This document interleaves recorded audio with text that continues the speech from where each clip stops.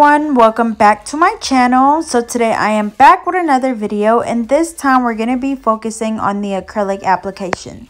So as you can see there, I added the monomer to the dapping dish and then I also added a little bit of acetone just because I've heard that this helps the Mia Secret acrylic system set a lot faster because as we all know, the Mia Secret acrylic is a bit runny. So that's really my only issue with it. Um, as you can see, it's holding its shape really good once I applied the acetone again. Only like or three or even probably four drops of acetone into your monomer um, into the actual little dapping dish so I did one layer of acrylic and then I'm going back and just adding the little gold pieces of foil and this is my actual speed and then eventually I am going to go ahead and speed it up but whenever I'm doing the encapsulated foil, I always do a layer of acrylic and then I come back and encapsulate it with the clear acrylic. Again, this is my Mia Secret acrylic system. I'll leave the link in the description to where you can find it. Um, I usually buy from Amazon, but um, Nail Supply Glamour also has it and I'm working on getting a promo code through them so you guys can get a discount. But as always, I'm also using my Mia Secret acrylic system. Sorry, not Mia Secret, but my alpha brush in the number 9. And I do have a promo code for them, which is Natalie10. So just be sure to use that during checkout to get 10% off your order. But again, I'm just encapsulating that gold foil. Remember that when you're encapsulating anything, whether it's glitter, whether it's foil, just anything, make sure that you're encapsulating it really good that way, whenever you come back to file, you're not going to file any of your pieces off. So make sure also that when you're doing this, you're brushing the acrylic out to where it's really, really smooth. That way you don't have to do a lot of filing at the end.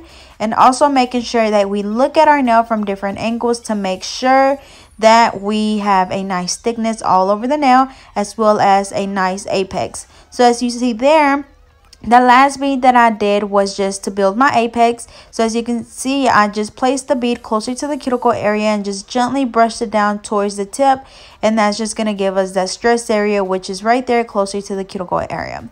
So I'm just going ahead and putting my foil up. And then for the rest of the nails, I'm just going to be using my regular Mia Secret Pink um, because they're just going to be regular and not clear, I guess. I'm going to do polish over these, so it doesn't matter if I use the clear acrylic or not. So again, this is in the color Pink by Mia Secret, which is a really translucent pink. You could barely even tell that it's pink if you can see. But we're going to go ahead and finish the set off. But as always, I just do a bead of acrylic right in the middle where the natural nail and the tip meets. I place another one right below that one, one above it, and then one over the entire nail to build our apex. So as you can see, I've already um, sped the video up so you can kind of get a faster, I mean, I don't want to be sitting here all day because I know there's people that don't like the long videos. But anyways, um, honestly, I do feel like the acetone does help with the acrylic setting a lot faster. And again, I think I already said this, but I think I'm going to be doing this for all of my sets now. Just adding a little bit of acetone into your monomer. Um, and that's going to help with the acrylic not being as runny. So we're going to go ahead and finish the set off and then we'll be back in a second.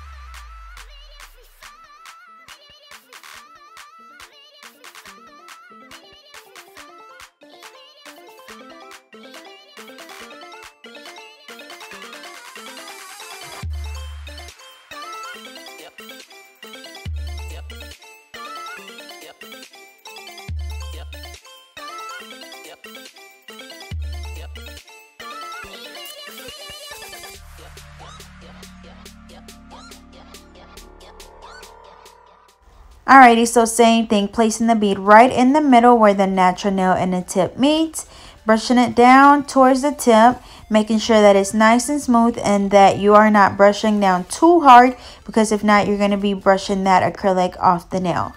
Once we have that first bead, we're going to go ahead and apply another one closer to the tip, or sorry, closer to the cuticle area.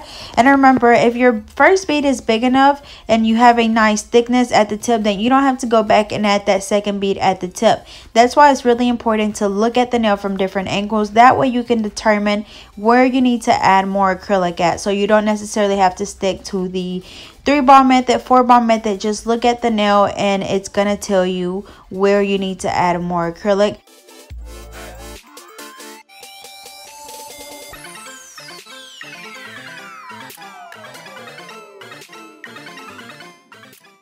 Alright, so once we finish applying the acrylic, we're going to go in and just reshape the nails.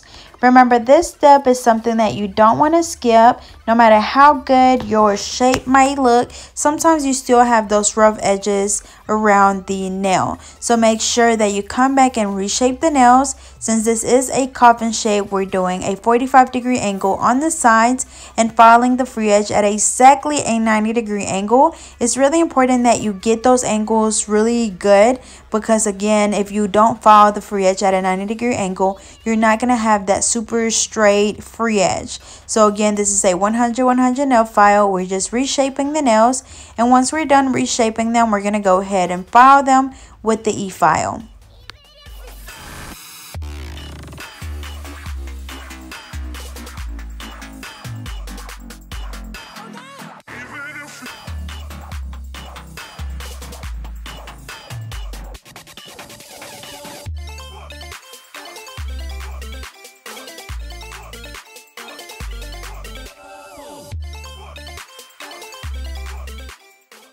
Alrighty, so now I'm just going to go in with the e-file and this is my actual speed. So as you can see, I go around the cuticle area really gently making sure that we don't cut their cuticles. And as always, I'm using a fine drill bit. So as you can see, this one is a little bit different or I guess just a different color.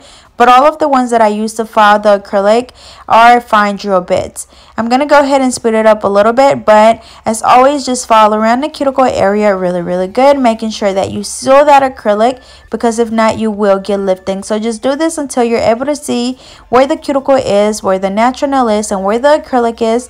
That way you know that the acrylic is not on the skin. And then also just make sure that you file the rest of the nail to make sure that it's all nice and smooth. Also keep in mind that if you are a beginner and you're still not able to have like a smooth application, just make sure that you spend a little bit more time on this part, just making sure that you follow them really, really good until they're all nice and even. So make sure that you look at the nail from different angles to see where you have those bumps and lumps to file them out because nothing else is going to take away those bumps other than filing. I know sometimes I see people asking in the comments, how do you get the nails nice and smooth? And this is literally the only way. You could also use a hand file, of course. Um, you don't always have to use an e-file or you don't even need an e-file to do a full set but it does help with speed and getting around that cuticle area really really good. So again if you are a beginner make sure that you spend a little bit more time with your filing to for one you know seal the cuticle area really good to prevent lifting and then also to get that really smooth finish um, because sometimes as a beginner it's hard to get really smooth nails or not as thick I guess. So you're just gonna have to do a little bit more file. Not everyone but you know for most cases as beginners, we are unable to get really smooth nails.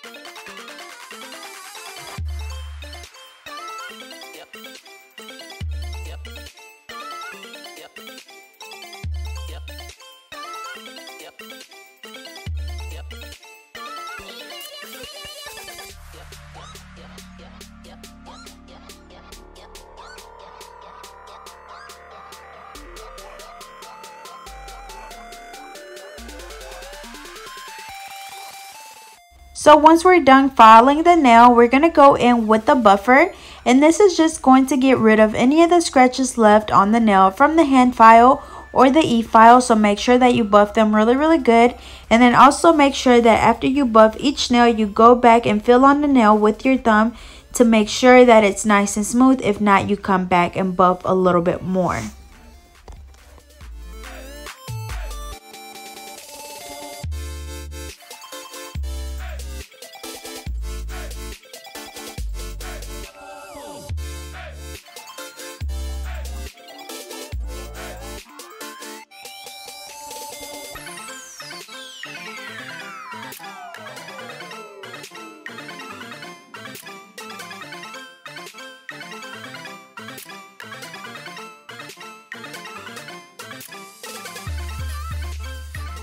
So after we're done buffing, we're just going to wipe the nails off with an alcohol wipe. Or of course, you could have your client go wash their hands, whatever works for you. And after this, we're going to go in with our polish. So I'm using this D&D gel polish in the color Fuchsia Touch.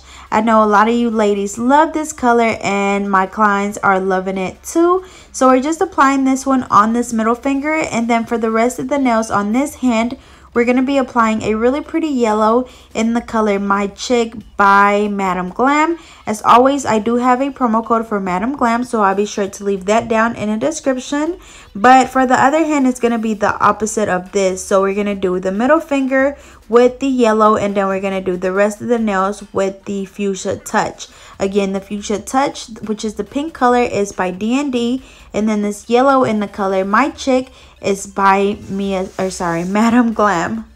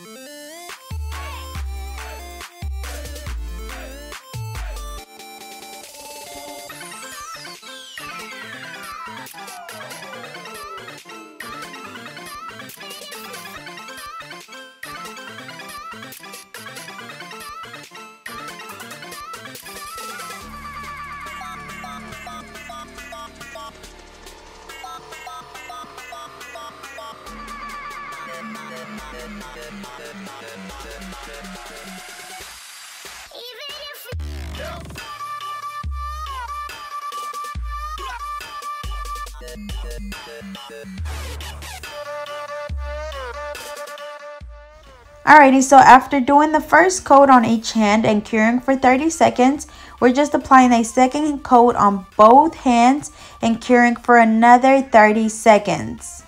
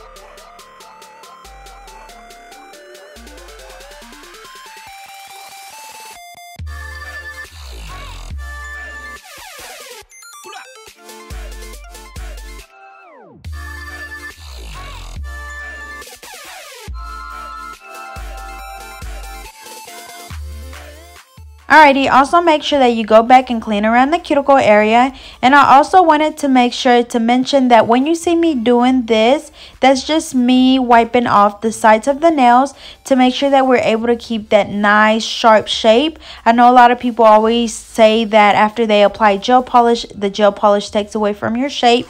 But if you just gently like not wiping off but literally just tapping the sides that's gonna help from taking your shape if that makes sense. But anyways we're just applying some bling on the nails. So I applied the big pieces with the hard gel. As you can see on the yellow nail I applied the yellow bling and then on a pink nail I applied the pink bling. And we cured that for 30 seconds and then now we're just going in with the Mia Secret gel resin, SS6, SS12, and my wax pencil. And we're just applying the bling on the other nails as well.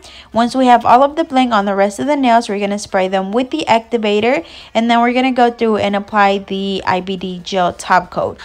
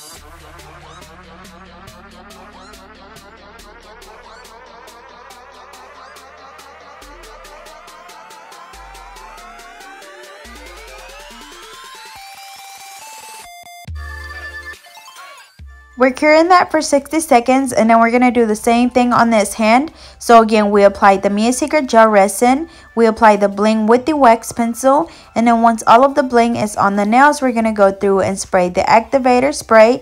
And the Mia Secret Gel Resin activator, basically it just dries the glue a lot faster. Since it is a gel resin, it's a bit thicker than a regular nail glue. So that means that it's going to take a little bit longer to dry. But with the activator, it basically instantly dries the glue. So I do highly recommend it. It's not mandatory that you use it. But honestly, I feel like it helps that bling stay on a lot long, not longer, but longer.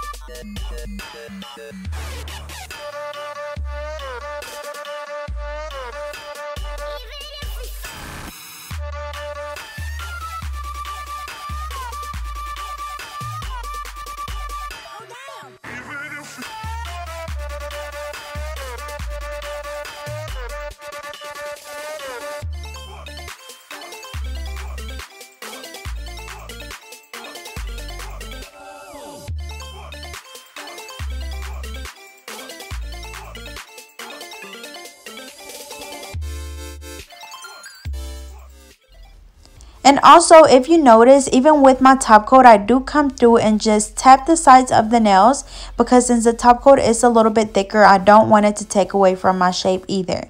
But here is the final look.